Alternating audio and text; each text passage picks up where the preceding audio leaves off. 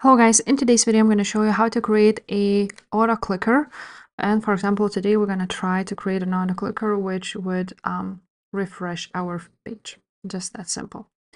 If you will find this guide useful make sure to subscribe to this channel. Now you want to go ahead to settings and go ahead to accessibility.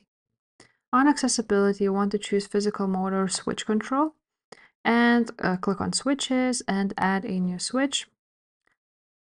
Now you want to choose um, screen and full screen. And on full screen, you want to choose tap. Now, uh, let's go back and choose recipes and create new recipe because we don't have any. Uh, let's create one. Test, assign a switch, full screen, and you want to go ahead and um, choose an action which fits you. If and none of these fits you, then just choose custom gesture. And for example, let's hold it right there now for a little bit. Uh, somewhere there is refresh button, save it. Let's go back and also on launch recipe, you want to go ahead and choose test or your created button.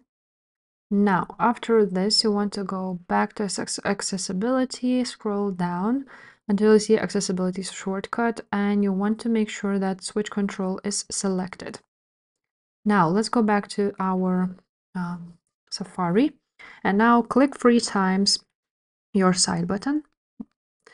And after you've done that, here it is, your switches are configured now and it now should work just like so.